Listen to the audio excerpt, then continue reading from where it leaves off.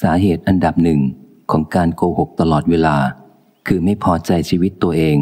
ขั้นรุนแรง จนต้องพยายามสร้างความสุขที่ไม่มีอยู่จริง อยากให้ทั้งโลกเห็นตัวเองในแบบที่สูงส่งขึ้น ถ้าคุณเข้าใจก็จะไม่นึกเกลียด แต่สงสารหรือเห็นเหตุผลที่จะเห็นใจ ความสุดทนที่จะเป็นคนไม่สำคัญ ไม่มีใครชื่นชม ไม่มีใครอยากรัก อยากเหลียวแล จะแปลเป็นแรงบิดจิตให้เบี้ยว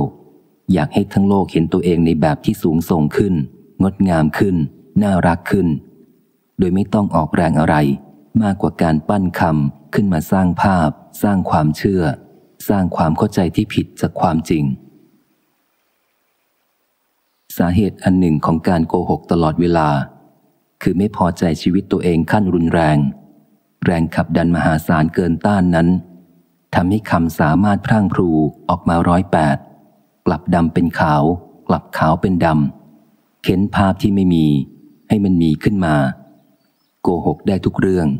ไม่ว่าเรื่องสำคัญที่น่าโกหก หรือกระทั่งเรื่องหยุมหยิมที่ไม่มีใครเขาโกหกกัน อย่าโกหกจนจำตัวเองไม่ได้ คำโกหก ไม่เคยมีอำนาจพอจะเปลี่ยนแปลงความจริง แต่มีพลังดัดจิตคนโกหก ให้บิดเบี้ยวได้คนหนึ่ง ทุกการโกหกมีราคา อย่าสะสมการโกหก กระทั่งราคาสูง ขณะที่ทำให้ไม่รู้แม้กระทั่งว่า ตัวเองเป็นใครกันแน่ ทนดูหน้าตัวเองในกระจกไม่ได้ เอียนหรืออยากอาเจียนกับการเป็นใครก็ไม่รู้ความสุขที่จะโกหก มันเป็นแค่อารมณ์พอใจ มีปีติชั่ววูบชั่ววาบ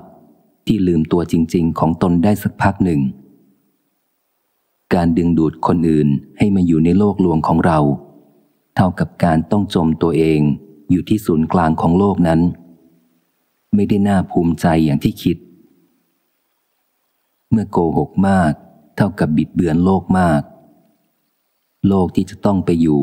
จึงเป็นโลกที่ไม่มีอะไรจริง มีแต่คนปลิ้นปล้อน มีแต่นักสร้างเรื่อง สาดโคลนใส่กัน แทงข้างหลังกัน หาใจจริงไม่เจอ ทั้งจากคนอื่นและจากตัวเอง